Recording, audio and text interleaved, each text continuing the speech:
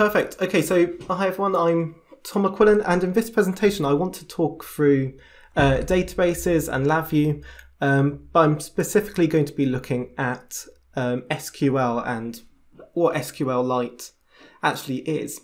Um, we saw a bit of an introduction through what uh, Steve was talking about and how he uses it for configuration and data storage and logging. Um, and so we're going to be looking at that uh, as well.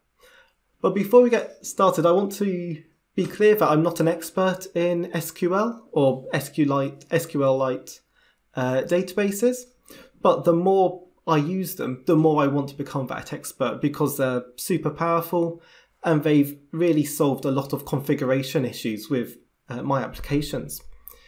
I'm going to start off by looking at why using why we should be using a database. First and main reason why I got into databases is because of application configuration.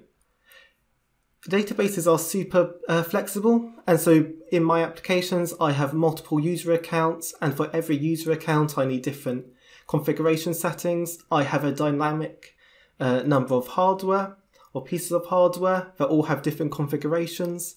I have different color schemes for my applications, and every user might have a different color scheme. And I want all of that information in one centralized location that I can explore and get data out of. The next is data management. So, how can I access that data?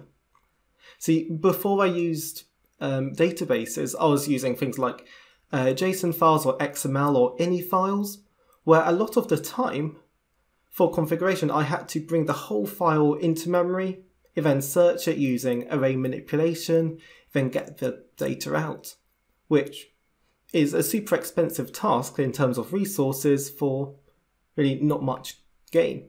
Whereas with databases, we can just get the information we need out. And the next is data storage. Obviously, with a database, we can just throw lots and lots of data at the database and it will just hold it there. Um, so I'm going to start off with a bit of an example of a database, just so we're all on the same page. And the type of database I'm bringing onto the screen now is one called Chinook. And this is an SQL, sorry, an SQLite database, which uh, you can download for free um, from sqlitetutorials.org. But we can see that this is a single database called Chinook and it has 11 tables in it, and each of these tables contain a concise piece of information. So we're currently in a table called tracks, and the only thing that this table holds is an ID, the name of the track, maybe a composer, even it gives references to other tables like album, media type, or genre. If we go to um, like the album ID, on the left hand side or albums, you can see that this again is a very uh, cohesive table. It only contains one piece of information, which is album ID linked with a title. Even this, date, even this table is then linked with an artist ID. The artist ID just contains a name and an ID. As you can see that this single database can hold lots and lots of information in a highly cohesive manner. And when we're developing code or code modules, we're always told to have high cohesion and low coupling. Well, the same is true for our data. All of these tables have a very high cohesion. Um, but also, each of these tables, they don't have to be related. For example, I have an invoices table here, which contains uh, 412 uh, rows of information about invoices that have been made. And that's completely different to um, a big list of tracks, of which there are 3,500 uh, tracks just in this small database. So if we look at how this database is structured, we would come up with uh, tables that look a bit like this, where you have individual uh, tables such as media types, genre, track, playlist, customer, employees, and they can all be related in a particular way. which is demonstrated by these uh, wires. And each of these wires have different symbols on to demonstrate whether it's a one-to-one relationship or a one-to-many relationship of the different relationship types between these tables. So tracks is related to albums because track and album both have an album ID. Albums and artists are related because they both have an artist ID. And so we could work through this uh, big database and get specific pieces of information from individual uh, tables. But it's really important to note that although this database has, I think, 11 tables, it's only one file on disk called Chinook. And actually, the file extension .db, that doesn't matter. You could come up with your own file extensions like I have. So in my um, applications, um, I have a custom um, extension and I've made it so when Windows notices that file is opened, it opens up my um, application. And you can do that with some um, uh, token keys in your LabVIEW ini file. Um, but it just makes for a much more uh, professional application in my mind.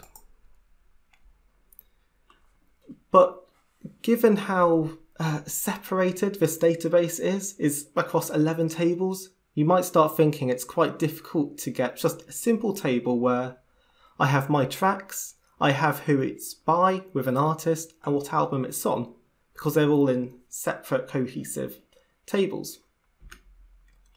But with a thing called structured query language, we can uh, we can navigate this database really quickly. And you might hear people call it SQL or SQL. They're all synonyms uh, of one another. Um, so, just a quick introduction to what SQL or SQL is.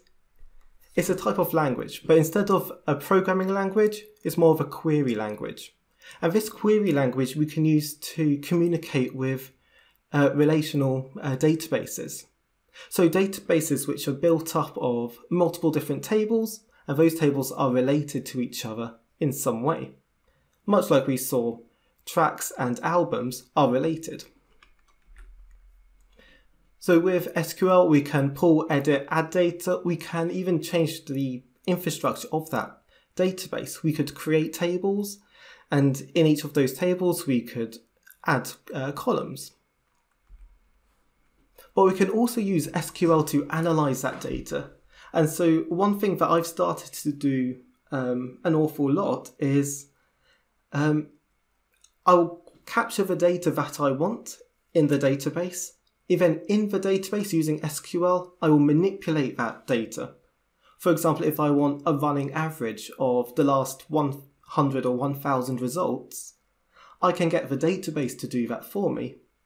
Instead of bringing all of the data into LabVIEW memory, then performing the analysis in LabVIEW. I can just do it all in the database using SQL. Um, so I'll bring up just a little uh, test bench I created.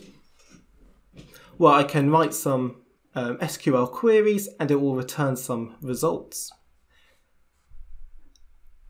So the test bench that's on the screen now is connected to this database that we saw with tracks, artists, uh, customers, etc. And so I can write some queries to get data from that database.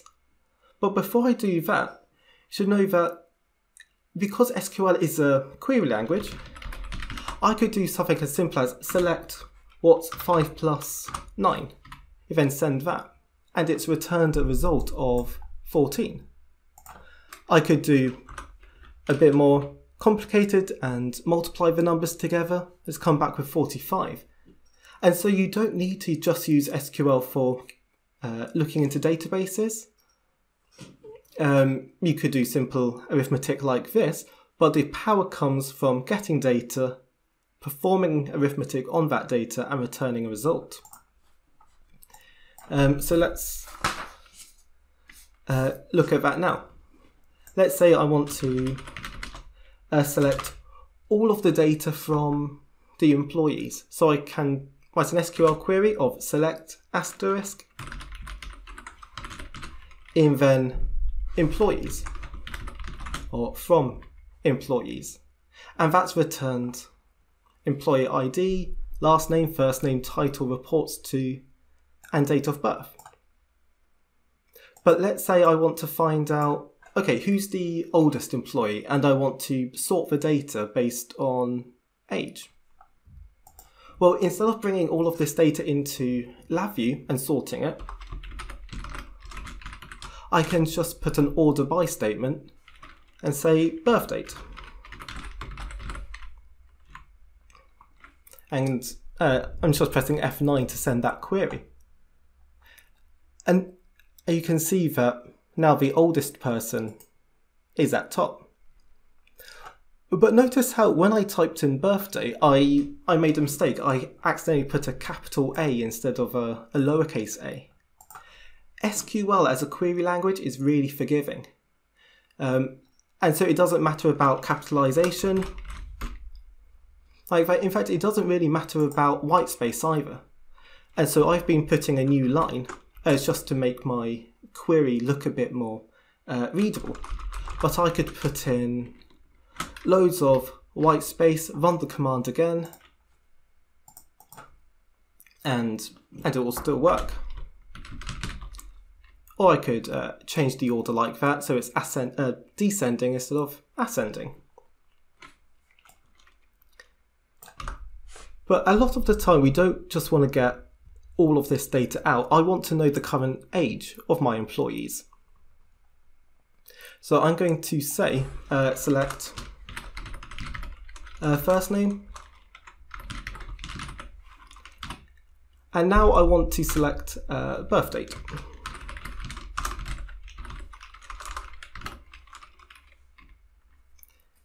So I can run that query and it's replied with first name and birth date, but actually I wanted the, um, how old they actually are. I, so I don't want to know their date of birth. So I'm going to use current time current underscore timestamp, subtract, and now I have the current age of all of those employees. And so with SQL, I've been able to actually manipulate that data and get what I actually want. Um, but just saying, but having, sorry, having this as a column header, well, that's not particularly uh, user friendly.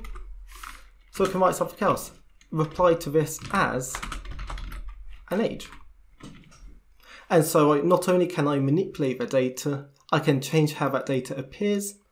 And so see, I this is just a 2D table that I have in LabVIEW. And it's formatted for headings just as I wanted. Okay, let's um, just go back to selecting all of the data in this uh, table.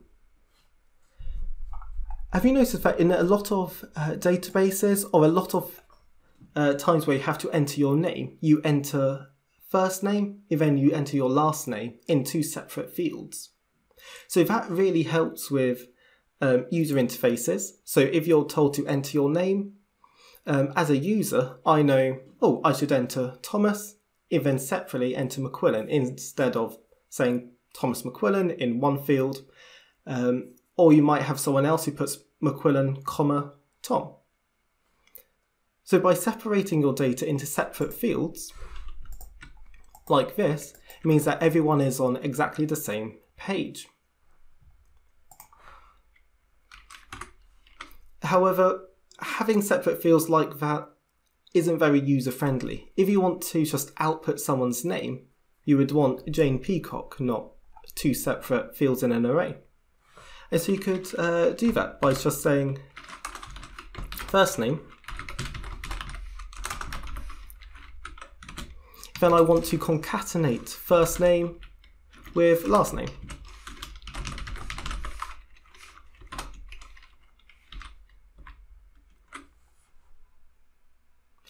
And so what I've done here is just add an extra column to the start of this uh, reply field to say what's their full name.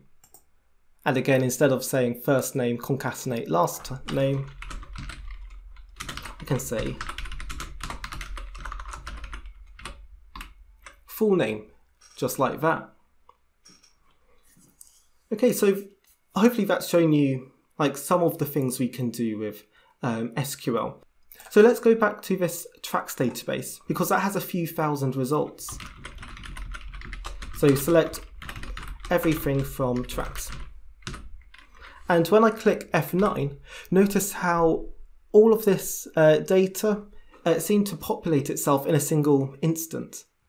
So that, if you look at the bottom here, uh, 3,503 rows, all complete with um, strings and numerics, all loaded uh, much quicker than I, as a human, would notice.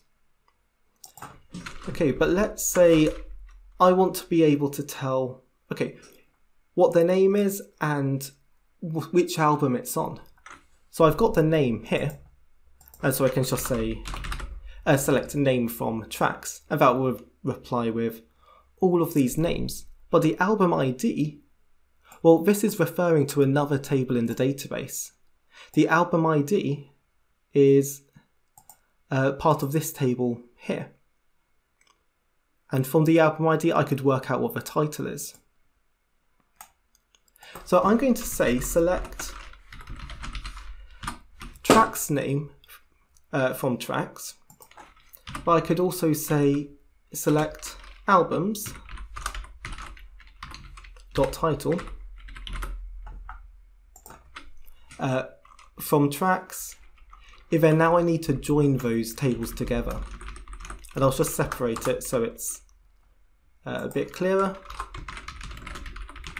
So now I'm going to join the albums table and the tracks table together. So I'm going to inner join albums. Then I give it a condition. I'm going to join albums to tracks on the basis that albums.id is equal to tracks.albumid.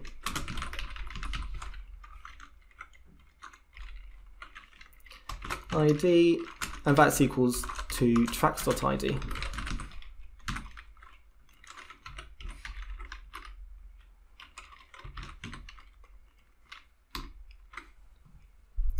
Okay, so now I've been able to bring in two lots of data from two different tables. But actually, this is still three and a half thousand results, which you probably don't want to uh, show three and a half thousand results to the user all at the same time. So instead, let's just uh, limit it. So the first uh, 100 results, let's say. And so now we only have 100 rows. Even, let's say you want to scroll this information. So we've now looked at the first 100. I'm going to now offset it to the next 50. Even in my code, I could offset it to 100, even 150, etc. And this is what I also use when um, I have a custom scroll bar in my applications. So if the user keeps scrolling to the right, I can just add more data and I'm reading that data from the database. And I'm reading that data fast enough that the user doesn't notice I'm just loading it from file uh, on the fly. So I'll just uh, close that and I'll quickly show you the code just to show you how straightforward uh, the block diagram is. I'm just opening a reference to that database and whenever I click F9 or click send query, I'm using this function to send the SQL string and it returns the column headers and the results. I'm then using the uh, matrix size function to get rows and uh, columns. Um, one last thing I'll uh, show you actually is instead of doing this arithmetic here, I could just do a simple count. So I can count how many uh, track names and album titles there are. Oh, it didn't like that. Let me just make it a bit more simple. So I could just do a simple count like this, count how many of everything there are in tracks, and you get 3,503. Okay, um, I'll make this code available to anyone who wants it. There'll be a, a link at the end, I'm sure. Okay, so uh, there we saw a bit about um, SQL, and that was looking at an SQLite database. And whenever you Google like what is an SQLite database, you always get these uh, things that it's all self-contained. You don't need any support from, well, you need minimal support from an operating system. It doesn't have, I think there's one DLL that you need to have installed, uh, but it's widely used in embedded devices because it is all self-contained. You saw that I'm interacting directly with um, a single file. And that single file doesn't need a server, so you don't need that client server architecture. I'm essentially just reading data from, um, uh, it's as simple as reading data from, from a file. We, and it operates in memory on your local machine. And so you can do things like just having the entire database in uh, memory in a separate instance and so it means that getting data from that uh, database and reading it in is super quick.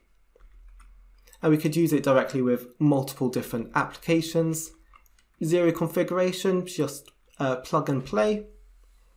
And lastly, it's transactional and ACID compliant, which basically means if you send an SQL query or a make a transaction, that transaction is going to happen 100% or not at all. So you don't run the risk of um, having partially complete uh, data. You either get all the data or you don't, and you can uh, set up an error mechanism. Uh, so if the transaction fails for some reason. There is some more to this slide, which is that SQLite is open source. It's free. Um, so you can download it. However, even though it's open source, it is so widely used. It's used multiple times on apps on your phone. Uh, LabVIEW actually uses SQLite um, in the background. Um, and so a lot of massive companies are using SQLite. And we can use SQL, sorry, we can use SQLite for multiple platforms. So on Windows, on Macs, Linux, Android, etc.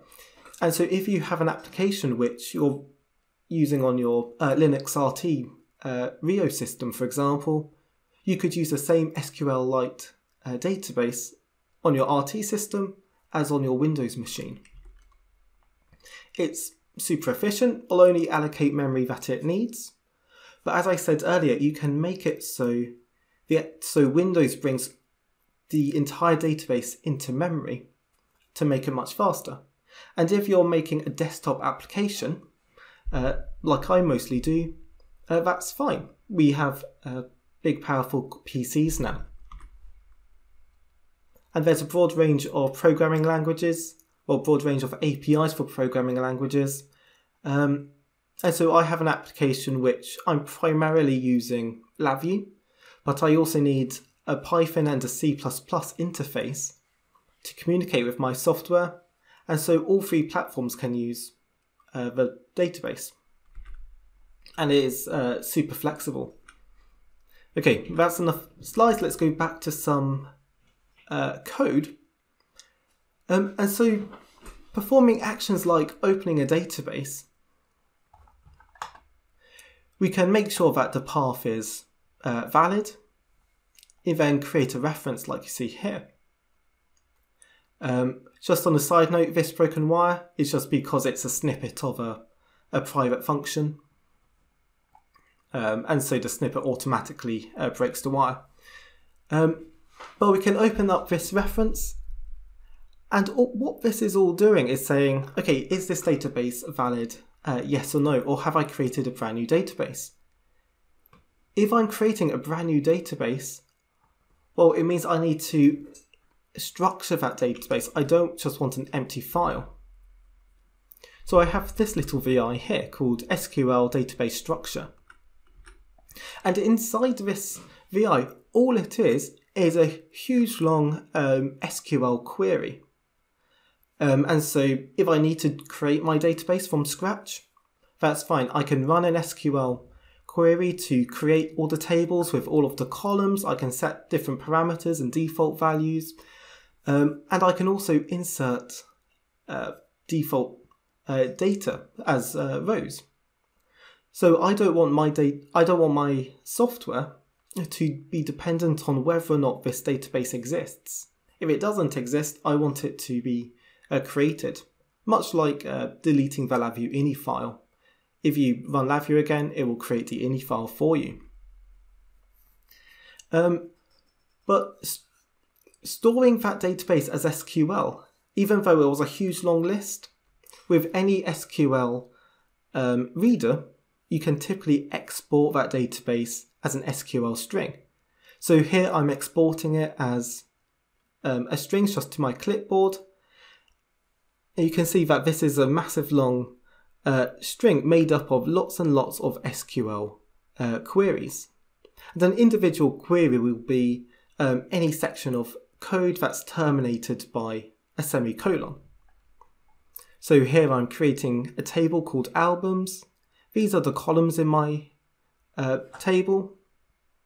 And then there's a semicolon here. So this is one transaction. Also, that's uh, one SQL query. And then I'm inserting into that uh, database, into that table. So I'll just run that again. In SQLite Studio, I'm going to select it to export, export the entire database as SQL. And I'm going to send it to my clipboard, and then finish, and then I can paste it into LabVIEW. And so although it's a huge long string, you don't need to write that yourself. You can define your uh, database um, in a database uh, viewer, which makes it very easy, and then just export it as, a, as SQL into LabVIEW. So that database which I exported has 11 tables and about 93,000 uh, data points. And just because I was curious, I want to see how long it would take to generate this database with uh, 93,000 uh, databases, uh, tables, and uh, data points. So if I run this now, you'll see it only takes about, um, I think, eight and a half seconds there. And I'm benchmarking that very, very uh, crudely, but you get an idea of um, how fast this is. So actually streaming data to a database wouldn't take that long um, at all. Sending 93,000 data points to a database would take a fraction of a second, um, but we're also configuring all of those tables and all of the columns in the table and all of the attributes to those columns, as well as the data points. But that database doesn't have to exist on disk. We could have an in-memory uh, database like we see here, where I'm using uh, James Powell's API for SQLite, where I'm opening up a database just with an empty string. And so if I don't define a file path and I just have an empty string, that's going to be an in-memory uh, database. If then I'm going to execute some X, um, SQL, where I'm creating a table called test. I have a column called configuration data, and the data type for that is text, but I don't actually need to define a data type. In then the next query, I'm inserting into test configuration data with a value of percent %s, which is an object, a number, and a string. I can then read that out on the other side, and those two values are going to be equal. Um, and so with uh, with SQL uh, databases, so with SQLite uh, databases, you don't need to be fixed with these this essentially a 2D array of columns and rows. A single string input could be a JSON file, or in, or what I'm showing here, an XML file. And in fact, there are SQL queries you can send to query information inside a JSON file. And so if you have um, user configuration data, which is by its nature a bit dynamic where you want to add and remove items, you could just insert a JSON file into um, a cell and then make an SQL query to query the data inside that JSON file or JSON string, I should say. So for this next example, I want to show you uh, streaming data to a database. So this is something which I do. Um, I'm going to show you James Powell's um, example, which you will find in the example finder uh, when you download his uh, toolkit. Essentially here, I'm going to uh, save, let's say, a million uh, data points into uh, a database. I can click run and it will take a bit of time because it's a million data points. But you can see here that in this window, I'm just taking the first thousand data points out. And at the bottom, it gives a rough estimate of how long it took to insert all of that data. Uh, sorry, uh, how, how many data points per second it took to uh, insert that data, which was about half a million data points per second.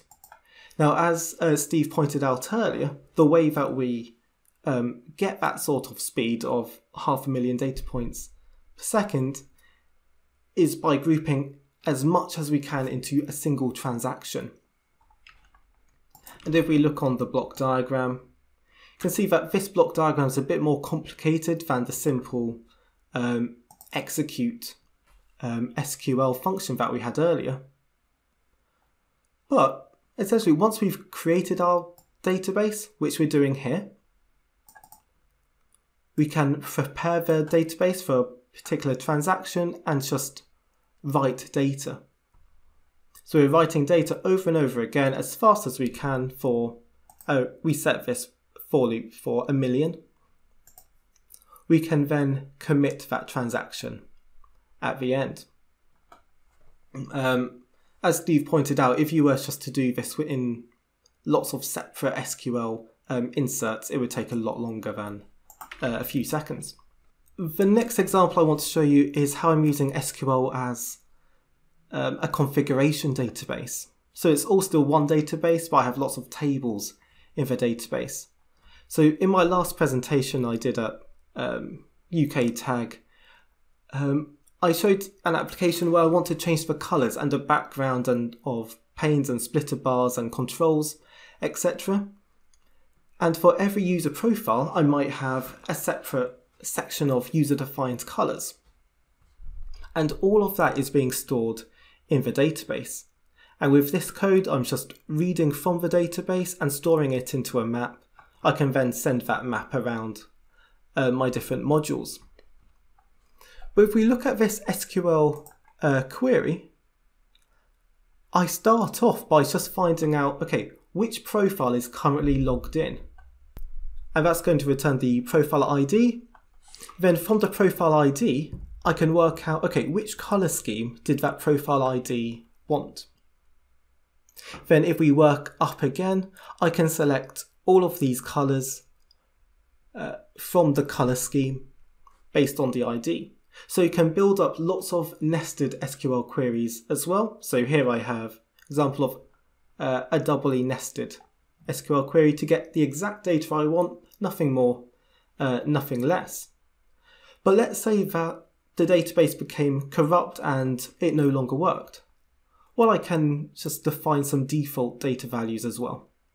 So it might be a bit of an annoyance, but I'm not just going to set the uh, application to a black background, black splitters, black text, etc.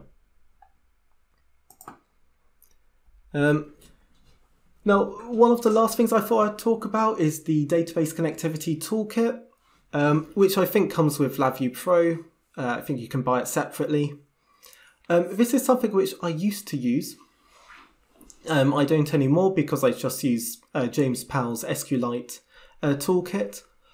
But Although this uh, database connectivity toolkit uses a lot of the libraries from lots of different providers, like there's quite a few Microsoft providers and Oracle uh, providers, if we dig down into some of these uh, functions like uh, create table, we can open up the block diagram of that.